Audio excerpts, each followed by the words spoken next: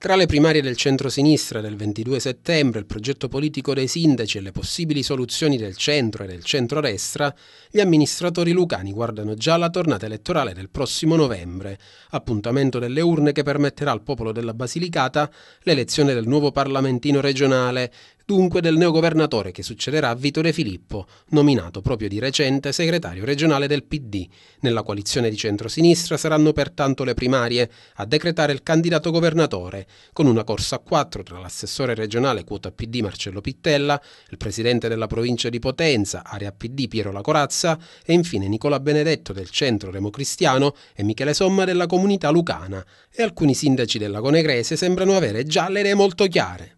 Pittella certamente per questo territorio è naturalmente il candidato del, dell'area e credo che eh, poter sperare di avere eh, il eh, Presidente della Regione questo, su questo territorio certamente deve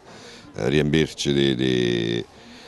eh, di soddisfazione e d'orgoglio. C'è una storia politica alle spalle che mi ha visto impegnato nel Partito Socialista, nella Federazione Laburista, quindi poi tutte le evoluzioni successive. Quindi tengo una storia alle spalle che chiaramente oggi mi porta ad essere solidale con eh, Marcello Pittella, questo senza nulla togliere a Piero La Corazza di cui sono pure eh, buon amico. Io mh, mm, mi rivolgo all'area del centro-sinistra eh, e quindi eh, parlo di segnali che comunque ci devono essere eh,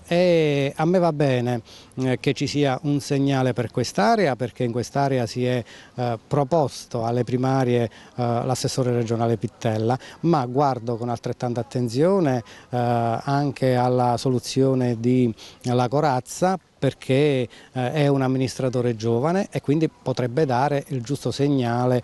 Beh, la lista dei sindaci eh, io comprendo le motivazioni, ecco, perché eh, i sindaci spesso si sentono abbandonati di fronte ai grandissimi problemi che stanno, eh, stanno vivendo. Diceva qualche mio collega in un'occasione, noi abbiamo, i nostri comuni sono come una pentola che bolle e noi sindaci teniamo il coperchio schiacciato, non lo so fino a quando lo riusciremo a tenere schiacciato.